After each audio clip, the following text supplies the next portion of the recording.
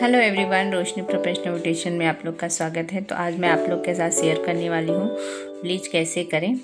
तो ब्लीच करने से पहले आपको क्या करना चाहिए और ब्लीच के लास्ट तक क्या करना चाहिए फुल डिटेल मैं इस वीडियो में शेयर करने वाली हूँ। तो वीडियो को लास्ट तक देखिएगा।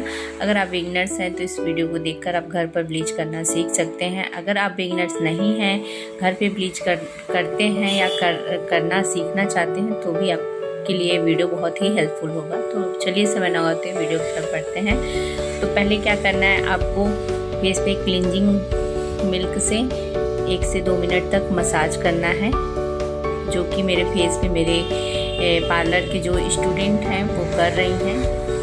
तो एक से दो मिनट तक आप मसाज करेंगे। अगर आप घर पे कर रही हैं, आपके पास क्लिनजिंग मिल्क नहीं है तो आप फेस वाश से अपने फेस को अच्छी क्लीन कर लेंगे।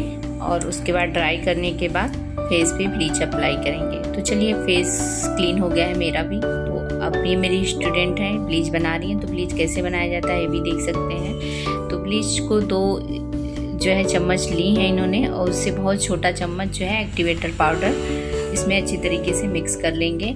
अगर आपके पास छोटा ब्लीच है तो छोटा ब्लीच में एक ही फेस के लिए आता है, आप पूरा ब्लीच ले लेंगे। एक्टिवेटर पाउडर बहुत ही कम मात्रा में यूज़ करिएगा। अगर एक्टिवेटर पाउडर कितना मिक्स किया जाता है ब्लीच कैसे बनाया जाता है तो इस इस पर भी मैंने वीडियो बनाया हुआ है।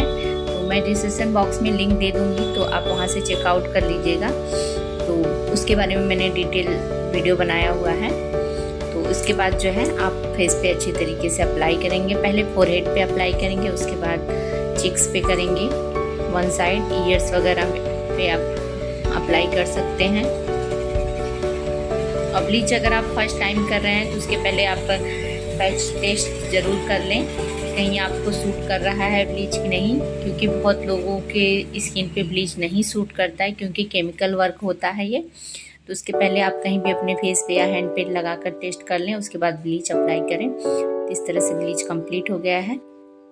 10 से 5 मिनट तक 10 मिनट तक रखिएगा ज़्यादातर, या तो 15 मिनट तक भी रख सकते हैं। और फेस वॉश करने के बाद जो है, थोड़ा सा मॉइस्चराइजर लेके फेस पे क्लीन कर लें। अगर हमारा वीडियो आपको पसंद आया होगा तो please like, share and subscribe ज़रूर करिएगा। कमेंट में ज़रूर बताइएगा वीडियो कैसा लगा। और डिस्क्रिप्शन बॉक्स में मेरे इंस्टाग्राम की आईडी मिल जाएगी, और दूसरे चैनल का लिंक तो उस पर भी विज़िट करिएगा। और नेक्स्ट वीडियो फेशियल का आने वाला